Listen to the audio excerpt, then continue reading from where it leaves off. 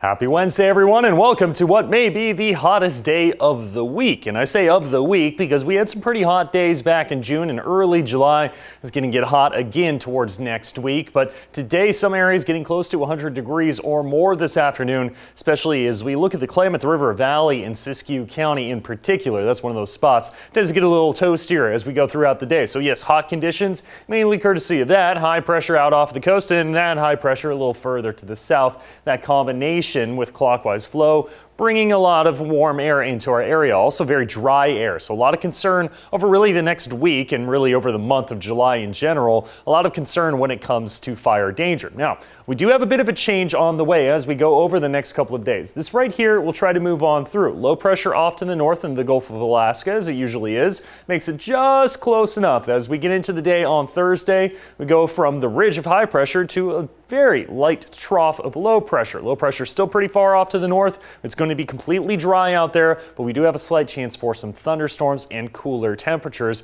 And when I say cooler, it's still above average temperatures, it's just a lot cooler than what we're going to see today as we get into the day on Thursday. Keep on going through into next week. High pressure builds back in, low pressure moves on out. Outside of that slight chance of thunderstorms, and with that, the potential for some showers, if they even pop up at all, and for the time being, the chance is slight, we stay hot and dry through next week. We can look at this another way essentially it's very clear skies out there. You got to go all the way off to the north up in Alaska to find anything coming down as shower activity or further off on the other side of the Rockies, North Dakota, South Dakota. It's tend to see that from time to time. Now, as we look through our area, very hot, very dry, and a little bit of fog for the coast. As is typical this time of year, we do have fog developing right around that corner between about Curry County and Coos County and a little further to the south near Crescent City. That's about it for today. So we'll go through the day with your pinpoint forecast, clear skies. Keep keep on going through Wednesday into Thursday, though, and then we start to see some of those clouds develop. Not for very long and not much potential there, but we do start to see some moisture in the atmosphere.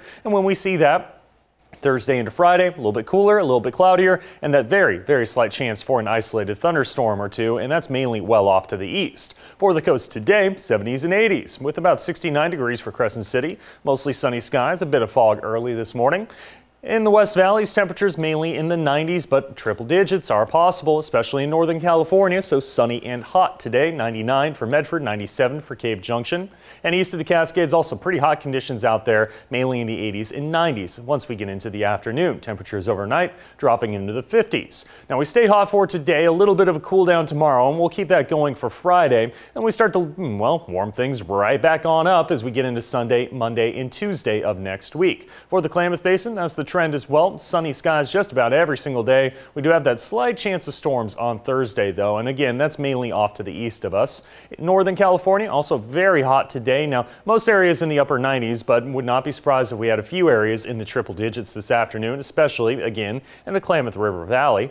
And as we look at the coast, temperatures mainly in the 70s over the next seven days. A little bit of cloud cover from time to time in the mornings, sunny skies in the afternoon.